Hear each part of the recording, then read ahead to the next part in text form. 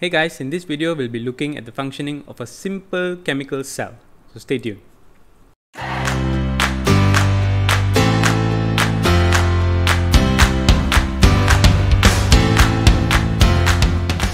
If you haven't watched my video on electrolytic cells, I suggest that you watch that first. The link is at the corner. But let's get into a simple chemical cell.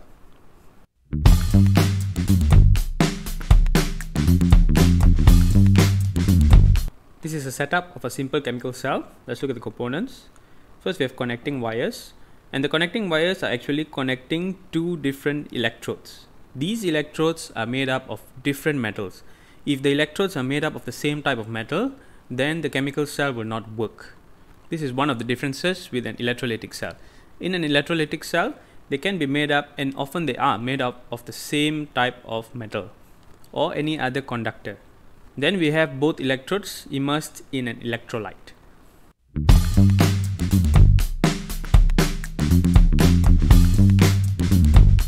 In any electrochemical cell, we must first understand where the electrons are flowing. If we can understand the electron flow, then we can deduce everything else. So let's look at this. The chemical cell is made of two different types of metals as the electrodes. So let's say we have metal X and metal Y. Different metals have different tendencies to donate electrons. So this is known as the electropositivity. And the way to determine which metal is more electropositive than the other is by referring to the electrochemical series. I've done a video on electrochemical series, the link is at the corner. Let's say metal X is more electropositive than metal Y. That would mean that metal X has a better tendency to donate electrons compared to metal Y. So when it comes to who is going to donate electrons between X and Y, it will be metal X. Whereas if metal Y was more electropositive than metal X, then metal Y will be the one that is going to be donating electrons in the end. So let's look at this example here. This is the ECS, electrochemical series. It is an arrangement of metals according to their electropositivity. The higher up it is, the more electropositive the metal is. Let's compare between zinc and copper. Let's say we have one electrode as zinc and one copper electrode. Zinc is here and it is at a higher position than copper. Since zinc is higher than copper in the ECS, zinc is more electropositive than copper. This means that zinc has a higher tendency to donate electrons and zinc will preferentially donate electrons to copper here. And the flow of electron is always through the external circuit. Once again, electrons do not flow from electrode to electrode in the electrolyte electrons only flow from electrode to electrode in the external circuit. Now we've established the electron flow. So let's say electrons start to flow from here zinc towards copper. Initially both are electrically neutral. The amount of electrons are exactly the same as the amount of protons both in the zinc electrode and the copper electrode and therefore they are electrically neutral. However, when electrons start to flow from zinc out to the copper, there is going to be a build-up of negative charge at the copper. And this will prevent further electrons from coming to the copper because negative will repel the electron which is negatively charged. Negative and negative will repel. And so the chemical cell will stop working. So we need to find a way to eliminate the build-up of negative charge here. This is where the electrolyte comes in. For a voltaic cell or galvanic cell, this is where the salt bridge will come in. So here we have the electrolyte and the electrolyte is going to accept the electron from this electrode so that electrons can continue to flow. We will look at this in more detail later. Current flow is in the opposite direction of electron flow. Earlier we've established electron is going to flow from zinc to copper. Therefore, current flows from copper to zinc. And by convention, current flows from the positive terminal to the negative terminal. And so now we can assign our terminal signs. So copper will be the positive terminal, zinc will act as the negative terminal.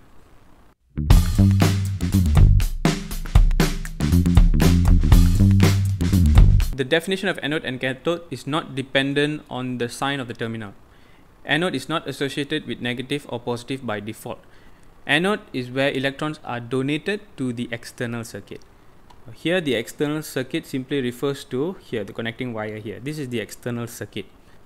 So where the electrons are donated to the external circuit is where the anode is. So we already know that zinc is going to be donating the electrons to the external circuit. That will make zinc the anode. Simple way to remember this, when we flip anode around, we get dona here, dona for donate. So anode, donate.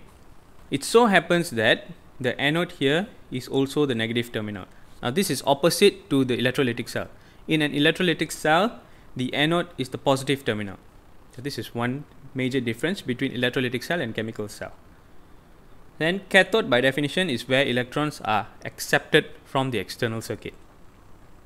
Copper is where electrons are accepted from the external circuit. So the copper electrode here will act as the cathode. And it so happens that here the cathode is the positive terminal. This again is in contrast to the electrolytic cell. In the electrolytic cell, the cathode is the negative terminal. So anode and cathode's definition depends on whether electrons are donated or accepted. It has nothing to do with being positive or the negative terminal.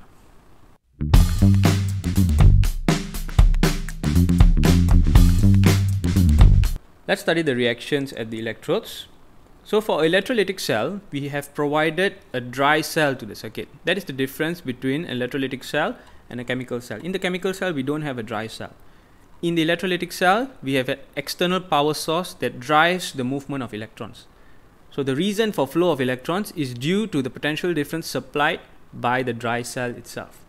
But in a chemical cell, there is no dry cell. In fact, a dry cell is a chemical cell. We'll go through that in another video. But here there is no external driving force. So what causes the electrons to flow? It is the difference in the electropositivity of the metals. That's why if we use the same type of metals the as the electrodes, there will not be any flow of electrons because they would have the same electropositivity. But because one metal is more electropositive than the other, the more electropositive metal will donate electrons to the less electropositive metal. So the driving factor here for the electron flow is the electropositivity of the metals. And the source of the electrons here is from the more electropositive metal. So opposite to what happens in an electrolytic cell, there is no discharge of anion here. The source of electron does not come from the anions in the electrolyte. The electron will come from the metal itself. And therefore the metal will donate electron and become ions. It will be ionized. The metal electrode here will be dissociated. So this will cause the observation will be over time this metal electrode becomes thinner and thinner because more and more of the metal will be dissociated into ions. The general formula for this will be Y, Y represents the metal, this metal electrode here becomes Ym plus, M plus depending on how many valence electrons the metal has and plus M E depends on how many valence electrons has been given away by this metal. So the metal becomes ion at the anode. There is no discharge of anions. Then when the electrons reach the cathode, at the cathode, cations are still discharged, same as the electrolytic cell. So here the positive ions, the cations, will accept the electrons from the cathode here and they will be discharged. The general equation will be xn plus representing the cations in the electrolyte plus n, n number of electrons depending on the charge here. If it is n plus, it will accept n electrons to become discharged.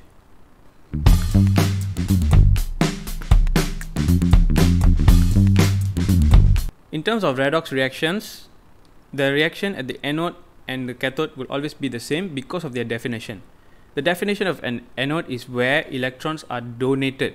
So every time electrons are donated, the substance is being oxidized. Oxidation takes place.